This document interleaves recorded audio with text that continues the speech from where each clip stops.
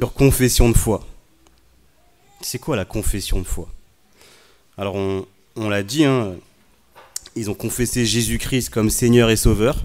Alors là, vous avez vu, il y a une petite table. C'est une autre manière de confesser sa foi en, prenant le, repas du Seigneur, la scène comme on l'appelle. Voilà, des confessions de foi, il y en a, il y en a pas mal. Hein.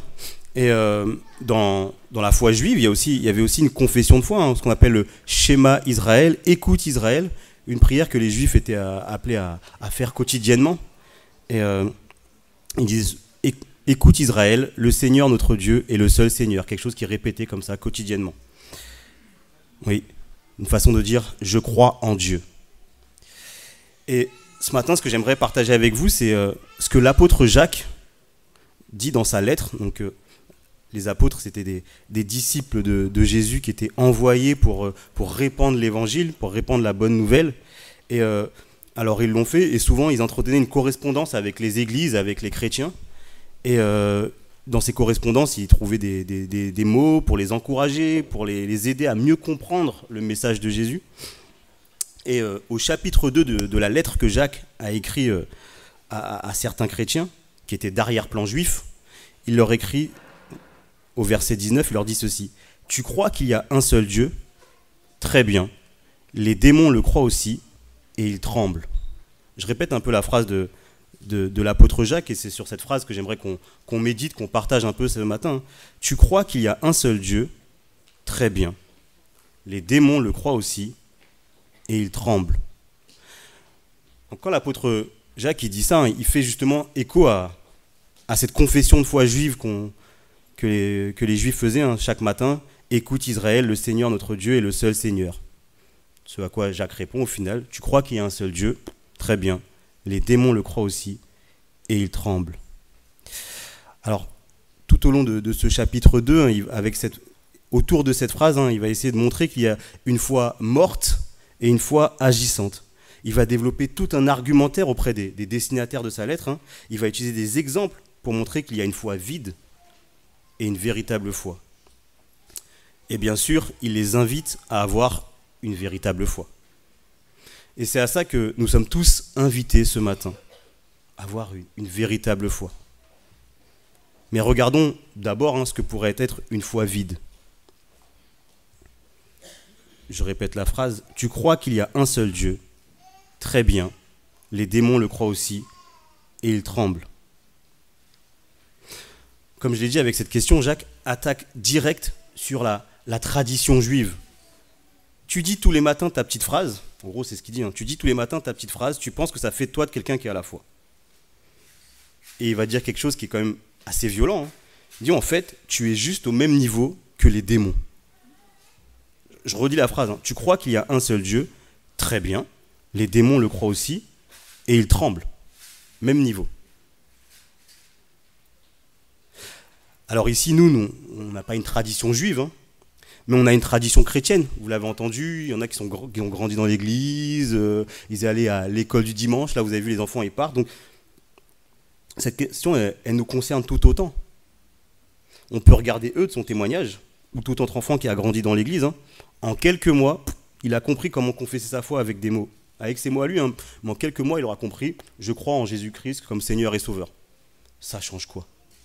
Est-ce qu'il comprend? Est-ce qu'il réalise? Qu'est-ce que ça change dans sa vie? Je crois que Jésus-Christ est mon Sauveur et Seigneur. On dit Amen, on chante, on est tout heureux, et c'est bien, c'est une bonne chose. Mais si ce sont juste des mots, il manque quelque chose. Si ce sont juste des mots, l'apôtre Jacques, nous le dit, hein, même niveau que les démons. Et il nous dit même les démons, eux, ils croient ça et ça les fait trembler. Alors peut-être qu'on n'a pas forcément euh, un arrière-plan chrétien, on n'a peut-être pas forcément une, tradition, mais je pense que cette phrase aussi, elle peut nous concerner. On peut avoir une idée du divin. On a tous une conception du divin. Tous, on a tous une conception du divin. Soit on pense qu'il n'y a pas de divin, et donc c'est une conception en soi, il n'y a pas de divin. Soit on peut avoir euh, d'autres croyances, euh, alors ça peut être Allah, Krishna, même Jésus même Jésus. On peut avoir une, conception de, Jésus comme divin, mais ça reste sur des mots et on va pas plus loin. Mais cette conception, cette croyance, cette conception du divin, c'est comme la tradition. ça nous met au même niveau que les démons. Tu as une idée du divin, c'est bien. Les démons aussi, et ils tremblent. Alors au final, c'est quoi croire? On est invité ce matin à avoir une véritable foi. Qu'est-ce que c'est que croire? Alors comme je vous ai dit, hein, là on est au, chapitre 2 euh, de la lettre que Jacques écrit aux chrétiens. Et il va dire au début de ce chapitre, il va parler de favoritisme. Il va dire que c'est pas bien, il va développer plein de choses pour convaincre, hein, mais il va surtout dire, dans le premier verset du chapitre, au tout début du chapitre, hein, il va dire Mes frères et sœurs, gardez-vous de toute forme de favoritisme. C'est incompatible avec la foi en notre glorieux Seigneur Jésus-Christ. C'est incompatible avec la foi en notre glorieux Seigneur Jésus-Christ. Donc là, il nous parle de la foi en notre glorieux Seigneur Jésus-Christ. ça nous aide un petit peu déjà à avancer. Qu'est-ce que la foi? Croire en, Jésus-Christ. Mais ça veut dire quoi croire en Jésus-Christ? Croire qu'il est le Seigneur, pleinement Dieu, pleinement homme. On l'a chanté tout à l'heure, hein. en, Jésus seul, Dieu s'est fait chair. Pleinement Dieu, pleinement homme. Croire en ce qu'il a fait. Jésus, en tant qu'homme, pendant trois ans, il a parlé, il a enseigné, il a montré quelle était la volonté. Toero l'a dit, hein. il a pris ce, ce verset qui est affiché là, Je suis le chemin, la vérité et la vie. C'est Jésus qui dit ça. Jésus dit, pour connaître le véritable Dieu, la véritable foi, c'est en moi. C'est quelque chose d'assez choquant dans une société où on peut avoir un pluralisme religieux, que quelqu'un se pose, dit, bah, si vous voulez connaître vraiment le vrai Dieu, il n'y a, a que en moi, il n'y a qu'en Jésus. Mais voilà, Jésus, le chemin, la vérité et la vie. Il a enseigné pendant trois ans, il a montré la volonté de Dieu le Père. La semaine dernière, c'était Pâques. Et on a pu se rappeler de, ce qu'il a fait. Au-delà de son enseignement, il a fait quelque chose d'encore plus fort. Il s'est donné. Il est mort. Pour nous. Ça veut dire mort pour nous? Nous étions censés mourir. Dieu, qui est la source de vie, qui nous a créés, il nous appelle à être en relation avec lui. Et souvent, on le rejette on vit comme s'il n'existait pas. Et donc on se sépare de celui qui est source de vie. La conséquence d'être séparé de celui qui est source de vie, c'est la mort. Et c'est en ça que Jésus-Christ nous a sauvés. Il nous a donné la possibilité de revenir, de revenir vers celui qui nous a créés, de revenir vers celui qui nous a aimés. Croire en Jésus-Christ comme sauveur. Croire en Jésus-Christ comme Seigneur. Ça veut dire quoi, Seigneur? Ça veut dire quoi, Sauveur? Dire qu'il nous a sauvés, c'est réaliser ce qu'il a accompli. Dire qu'il est notre Seigneur, et ça c'est une chose qu'on n'aime pas forcément aujourd'hui, hein. dire qu'il est notre Seigneur, c'est accepter qu'il est maître de notre vie. C'est peut-être dur à entendre, je le redis, hein, mais dire qu'il est notre Seigneur, c'est accepter qu'il est maître de notre vie, qu'il est souverain, que c'est sa volonté qui importe. On peut avoir envie de tout un tas de choses, mais à la lumière de, ce que Jésus a enseigné, de ce qu'il nous dit, est-ce que c'est en accord avec sa volonté? Eudes, Toero, vous avez dit que vous confessez Jésus-Christ comme Seigneur et, et Sauveur par rapport à votre volonté. Vous êtes en train de dire que chaque fois, vous allez chercher à être en accord, non pas avec votre volonté, mais avec la volonté de celui qui est votre Seigneur. C'est ce qu'on dit quand on confesse notre foi. On est en train de dire que c'est lui qui conduit nos actes. Je ne sais pas si vous avez pris conscience de ça hein, quand vous l'avez C'est lui, désormais, hein, qui conduit vos actes. Tu veux faire quelque chose Est-ce que c'est dans la volonté de celui que tu as confessé comme maître, comme Seigneur? C'est chaud. Et quelle est sa volonté? Qu'est-ce que le Maître nous dit? Il nous commande d'aimer comme lui nous a aimés au point de se sacrifier pour nous. Je le redis, il nous commande d'aimer comme lui nous a aimés au point de se sacrifier pour nous. C'est ça la véritable foi dont nous parle Jacques. Une foi qui se voit par les actes. Les actes qui montrent que nous aimons Dieu. Des actes qui montrent que nous aimons notre prochain. C'est le commandement que, le Maître, que le Seigneur a donné. Aime ton Dieu de tout ton cœur, de, de toute ta pensée. Aime ton prochain comme toi-même. Toute votre manière de penser, votre manière d'agir doit être sous le regard de ce commandement. Aime ton Dieu de tout ton cœur, de toute ta pensée. Aime ton prochain comme toi-même. Et ce n'est pas incompatible avec ce que nous dit le reste de la Bible, hein, et notamment ce que nous dit l'apôtre Paul. Alors, pour ceux qui ne le savent pas, on a, souvent cherché à, opposer ce que Jacques pouvait dire et ce que Paul pouvait dire. On avait l'impression que Paul disait euh, la foi, c'est la foi qui sauve, c'est pas les œuvres, et que Jacques disait le contraire. Mais en fait, ce qu'il dit, c'est la même chose. Et voilà ce que, ce que l'apôtre Paul nous dit hein, dans une de ses lettres. Lui aussi, il écrivait des lettres. Pour celui qui est uni à Jésus-Christ, être circoncis ou ne pas l'être n'a pas d'importance. Ce qui importe, c'est la foi qui agit par l'amour. Ce qu'il est en train de dire, c'est peu importe votre arrière-plan, peu importe d'où vous venez, que vous ayez une tradition chrétienne, que vous ayez une, euh, conception du divin, à partir du moment où vous rencontrez Jésus, à partir du moment où vous acceptez, vous accueillez, vous unissez votre vie à la sienne, vous cherchez à faire sa volonté, à partir de ce moment-là, ce qui importe, hein, c'est la foi qui agit par l'amour. La foi qui pratique les bonnes œuvres préparées d'avance. Alors, quand on dit ça, Tohéro, eux, c'est pas, maintenant que vous êtes baptisé, il y a, un, un, paquet cadeau de bonnes œuvres dans lequel vous rentrez.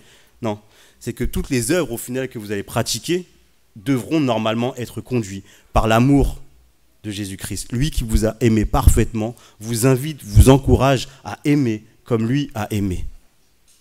C'est ça la véritable foi. C'est ça, la véritable foi. Et ce matin, peut-être que ça fait, un, moment euh, que tu suis Jésus comme disciple, et tu as peut-être fini par euh, banaliser cet amour irrésistible.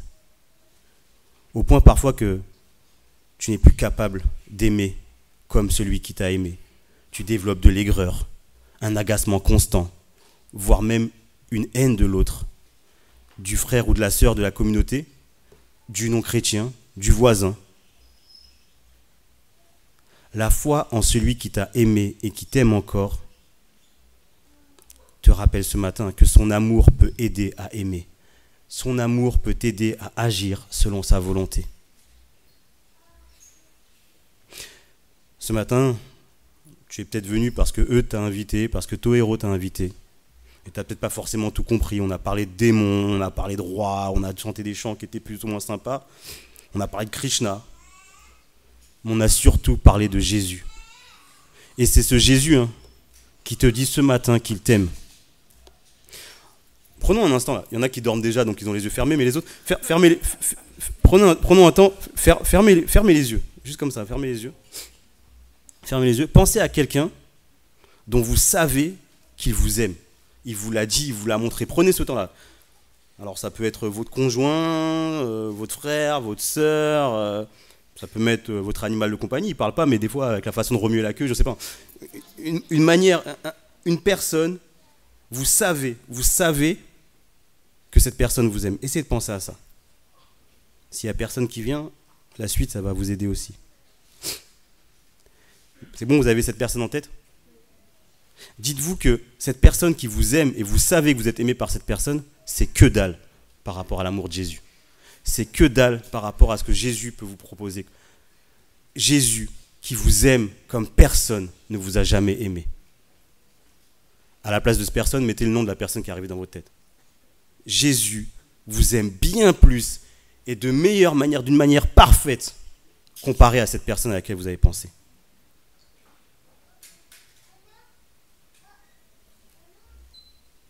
Jésus qui t'a créé, lui, la source de vie, il veut te ramener à lui. Lui qui t'aime plus que personne au monde veut te ramener à lui.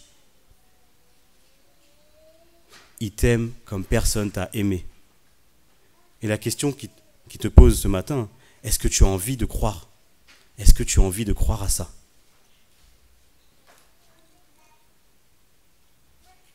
Celles et ceux qui ont déjà accueilli, qui ont accepté ça, il te dit, est-ce que tu veux apprendre à aimer comme moi je t'aime? Regarde comment tu te sens bien quand tu es aimé, quand tu sais que tu es aimé par moi. Ne garde pas ça jalousement. Dis aux gens qui sont en manque d'amour, qui sont en peine d'amour, peut-être même des gens qui s'illusionnent en pensant que la personne à laquelle vous pensez vous aime parfaitement. Il y a un Dieu, un vrai Dieu, qui vous aime comme personne vous a aimé. Et il peut vous apprendre à aimer comme lui a aimé. Est-ce que, c'est la question que je vous pose, eux, des heureux, est-ce que vous avez envie, envie de vivre ça au quotidien? D'apprendre à aimer comme Dieu vous a aimé, le Seigneur que vous avez confessé, le bien-être que vous avez décrit. Il y en a un qui est plus chaud que l'autre, hein. sans comparaison. Est-ce que ce matin, nous souhaitons vivre ça? Je le redis encore, hein, peut-être que vous n'avez pas tout compris, mais Jésus te dit ce matin, est-ce que tu souhaites faire ce pas vers la véritable foi? Pas une foi vide, simple mot, mais cette foi que nous venons d'écrire, cette foi en celui qui nous a aimés au point de se sacrifier, cette foi en celui qui peut nous apprendre à aimer comme lui nous a aimés. Je vous invite à, prendre un temps de silence, peut-être même fermer les yeux, peut-être même repenser à cette personne qui vous aime, et c'est déjà bien. Mais dites-vous qu'il y a quelqu'un qui vous aime encore plus. Prenez ce temps.